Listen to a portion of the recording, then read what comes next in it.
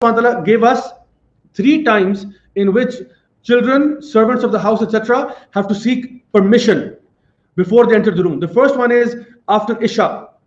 So the children listening right now, before you walk into your parents' bedroom, you have to keep note of this time. If you're entering their bedroom after Isha prayer, knock and seek permission. Number one. Number two, before Fajr. So if, for example, you had a nightmare or something like that and you want to disturb your parents, anytime before Fajr, knock and seek permission before you enter. The third time is after Zohar prayer when people generally take an afternoon nap. These are the times when a person who's in his bedroom or her bedroom would would be in a, a, a loose type of clothing or you know maybe in your t-shirt shorts or something like that you might be you know um, not appropriately dressed to meet somebody let's say right? Or you're in your pajamas basically. So you don't want to be in that situation and have kids walking in on you.